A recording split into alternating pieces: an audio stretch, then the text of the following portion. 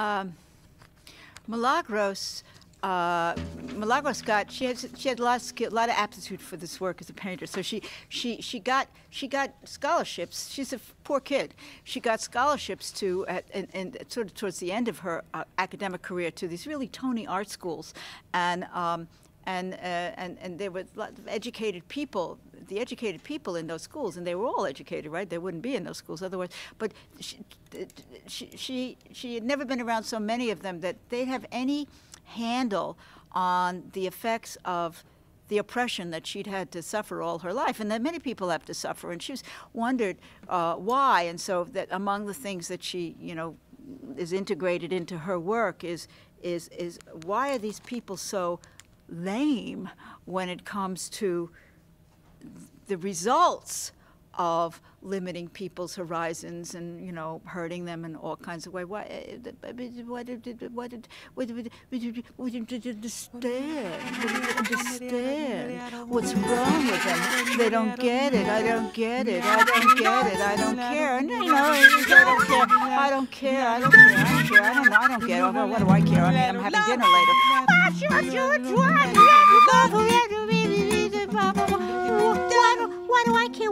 care? What do I care? What do? I care? What do I care? What do I care? What do I care?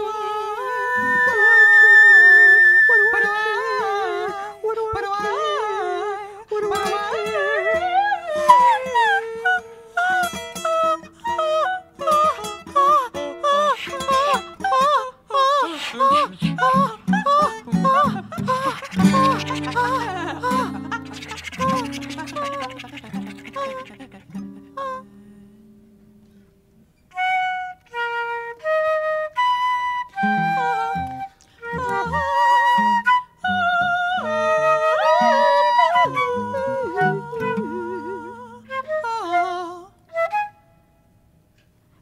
So have haven't haven't they ever been scared? Haven't they ever been really frightened by something?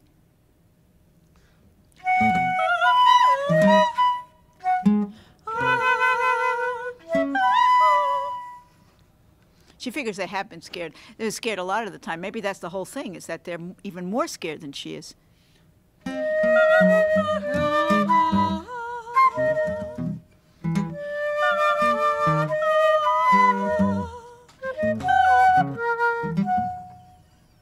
So maybe what she needs to do is calm them down, make them feel safe, and that way they'll, you know, start thinking about their fellow human beings.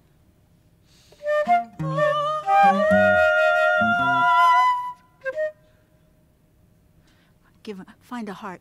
Give him a heart. Give him my heart. Give him my heart. Give him my heart.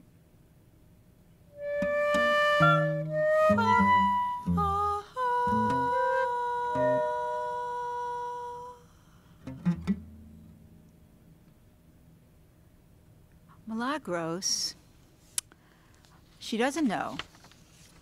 She doesn't know. She doesn't know if her artwork is actually valuable. I mean, it could just be a copy of a copy of a copy, and she's not even aware of it because she sees a lot of stuff like that. But at the same time, she figures it must be valuable because she's so sincere and she's trying, she's really trying to tell the truth. And so some of it must, you know, seep out of her pores every now and then. I mean, it must be there. And, and isn't that what this kind of, you know, communication between people and, and, um, and uh, I have I, I teach a little bit, and I had a student ask me ask me uh, i- i- he was making a speech, and he said, "Do you think it's important to tell the truth? I mean, what if people don't want to hear what you have to say? Do you think you should tell the truth? What do you think, teacher?" I said, "You should tell the truth. you should always tell the truth, uh, and or at least endeavor to. I know it's awfully hard. I mean, I'm not you know one who's telling the truth all the time either, but um, I, I I, you know I, I, that's the that's the that's the hand you know that I'm reaching for uh, the truth that will you know so so so she she she, she, she uh, and you know you could tell the truth and it could be real skinny surface you know cliche truth that you know you've you believe in but it's not enough. It's not deep enough. It's not not it's not enough. It's not enough. It's not enough. Maybe it is